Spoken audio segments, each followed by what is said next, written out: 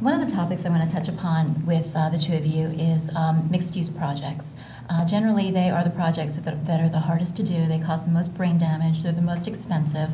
But uh, you all have a knack for doing them extraordinarily well.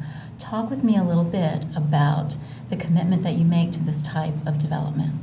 Well, we have over time have learned how to do mixed-use projects. Um, we think extremely well. It has certainly come um, on the tail of a fair amount of experience. We've had uh, experiences perhaps that haven't been as successful, but the one thing that we have learned about doing mixed-use development is the complexity of it. Um, it really is very complicated from beginning to end, and as is consistent with most of our corporate philosophy, we realized to be the best mixed-use developer, we needed to assemble a talented team that were experts in each of the different product types.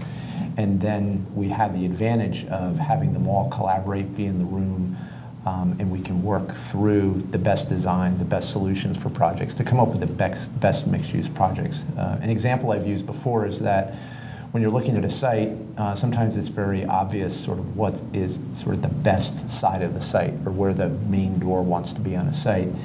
And when we're all looking at this within our firm, um, we don't have the retail uh, group only fighting for that when the hotel group also needs to understand where they fit in the overall development as well as the residential and the office. So we're there in a position where we have the luxury of being able to sort of break those ties and we are able to then come up with projects which we think work better uh, in the long run because they are conditioned and our negotiations are internal uh, as opposed to with external parties. Yeah, just to uh, reiterate what Brian said, the key uh, to mixed use really is um, balance of all the uses. And having a uh, number of uses that eh, where you, you take in, into account all of the needs of these different product types and then figuring out how to best put them together without really compromising one uh, to a great extent. I think that's really the key. And if we add up the sum of the, uh, the whole is greater than the sum of the parts. Mm -hmm. That really has to be the goal here. One other thing that I'd like to add is that we, we have also found over time that given some of the demographic changes that are occurring and given the desirability, people want to live in mixed use environments. Um, we, we know that's not unique just to our market, that's happening across the country.